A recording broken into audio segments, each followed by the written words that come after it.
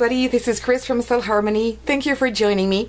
In today's video, I'm going to show you one of the easiest way to make paper flowers and very few materials needed. This can be for beginners or even for people that already know how to make very nice paper flowers using very complicated dies, but we're going to make this in a very, very simple way and with not a, lot, a whole bunch of things. So here are some examples. I've got a big one here.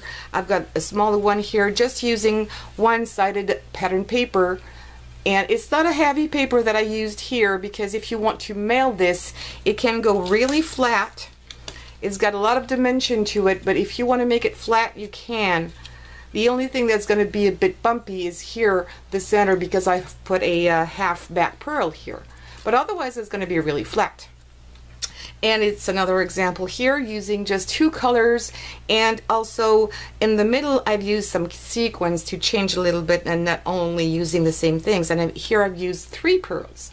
So as embellishments to put in the center, use whatever you have. I'm going to be using some beads for my example. You can use stickers, you could use uh, other pieces of paper, whatever you have on hand. So for these examples, you will just need so some paper and it doesn't have again to be a heavy uh, cardstock paper. Just use your scraps and maybe different sizes. If you want to do the middle you'll need a smaller punch. So of course you will need some uh, hole punches here like this one. Whatever brand you want to use whatever size you want to use. If you want embellishment a little better you might want to use some inks Again, whatever brand you have. Hot glue gun I'm going to use because it dries really quick. You could use white glue for this. And well, that's it. So let's get started. I've already um, punched out some paper here and I'm going to start with the purple one because I like purple. So, um, one more thing. Here I've used, let's say, one, two, three, four, five, six, seven, eight, nine.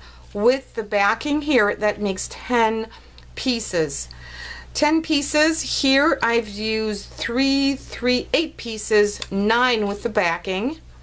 And here I've used, I think, a little less. One, two, three, four, five, six, seven, eight. I've used nine pieces. So, and here's seven. So whatever, you know, it's going to have a little different look if you put more or less petals. But give it a try, see what you like best. Obviously, I think maybe the bigger it's going to be, uh, the more petals you will need. But give it a try. It's your taste. So I'm going to leave one of these uh, circles on the side because that's going to be my back. For all the others, I'm going to fold them in half like this. Very simple. You don't have to measure anything. So that's what I'm going to do right now. I'm going to fold them all. That's quickly done. I could have done this ahead of a time before. I'll probably pause this for my other examples because you know what folding is. Okay, so now this is fold. I'm going to put this um, circle here and I should have maybe used another color because on white you're not going to see much. So let me take this paper here. Okay, so I'm going to put this on the other side because I think it's going to be nicer than just having something white depending on where you want to put it. And I'm going to use my hot glue again. So let me bring it here. And now what is important, when you're going to put your petals here, is to put them all in the same direction. I'm going to do a little close-up. So what I mean by this is you need to put them all in one direction, whatever it is, but not one like this and one like this, for example. Okay, they need to be all the way around the same direction. So I usually put them this way, so I'm not going to be confused and I know that I'm going to put my dab of glue just here. Then what you need to do is kind of eyeball the center of your circle and you can make a little point there and you're going to put your petals like this. So let me bring it here. I'm going to put just a little dab of glue and put it right onto my circle. You might want to use low temperature for this if your paper is really not thick. And I'm going to do this for all my circles or half circles that I hear.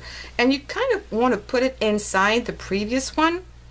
And I really eyeball them to make it kind of straight to leave the safe space between all my petals. that's the way I like to craft. I don't like to measure unless I really have to. I like to make things just the easiest way it can be. If you feel comfortable by measuring, that's totally up to you. I There's no right or wrong exactly here. Let me put it back. Don't worry about the strings. A little dab of glue.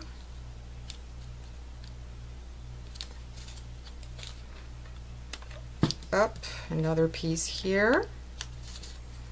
And I don't really know how much I'm putting. I think I'm going to put like nine again. I think I've cut 10 pieces here. And there you go. Your flower here is almost done. Now, this is, we're going to do for the first example, a one layer here. So I am going to use these little beads that I have. I have a ton of beads and I never know how I'm going to use them. I've been given a lot of beads. So thank you all my friends who have beads. Don't use them and think about me. So I'm going to put a big blob of glue here. Let me do a little close up. Sorry if I'm going too fast. And a big blob of glue. And I'm just going to sprinkle. Oops. Let me do that a little better.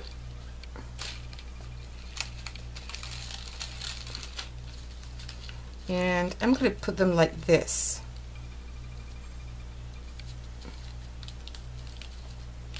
and just leave it to dry. It's not going to take a long time.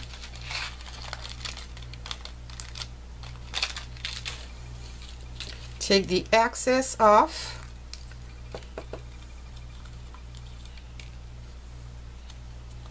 And it's something really different every time. If you change the centers, let me take all these beads away. I'll take care of them later on. And there you have it. And normally when this is dry, what, I, what you would do is come back here with each petal and bend it a little bit. I don't have to push hard here. I'm pressing too hard in the middle. I like to have a little bit of volume. And just press your petals to put them in shape and give them even more volume. You could use this also as a tag if you wanted to put this, for example, on a um, on a present, and you could maybe write the name of the person or just write your name and that's the first flower. Very easily done in minutes, no fuss, no muss. If you want to uh, cut your um, round circles by hand, you can do that as well. It's not that complicated to cut a circle. It won't be maybe as perfect, but you don't need to have it perfect. And that's one way. So I'm going to use this one as for my other example and maybe try to take this away if I can. No, I can't, but that's fine. So for this example, I'm going to do the second layer, which is exactly the same. So I'm going to fold these pieces, and I think these two colors are going to go, to look just great. Um, I'm going to fold these pieces, and you don't have to put the half. You know, if you put, for example, eight pieces, put four inside. There's, I don't really measure again. Let's say that I don't have my pearl in the center and I'm just going to do this this way. You know what? I'm going to pause this and make it a real one with another one. Hold on a second. Okay, so I've got another flower here that I just made and I want to embellish it and make it a little more fluffy. So I'm going to use just a second layer and for this example I am just going to use a different paper. You could obviously use the same paper, the same colors, but because I had pink in this paper, I just felt like I wanted to use a little bit more pink to make it pop out a little bit. So that's what I'm using here. And I'm just using several of these. Again, I don't. you don't have to put the same number and normally I've got some more. Hold on, there should be somewhere. Oh, there they are. Just in front of my nose. And I think that's going to be good. Need to put this one in here inside. Okay, and now I am going to embellish it again. And let me see, does this, no, this is a bit too big. So I might use maybe some of these pearls here because I really like the look of them. And yeah, I think I kind of like it this way. Maybe I should use a, a little larger one. Oh, I've got this one I really like too. I've got all kinds of, of pearls and beads. And this one is flat back. Whoops. And yes, I think this one's going to really be nice. So I'm going to put some hot glue here. Put this one here in the center. I think I went a bit overboard. I'm taking a little bit off. And now I am going to open it again.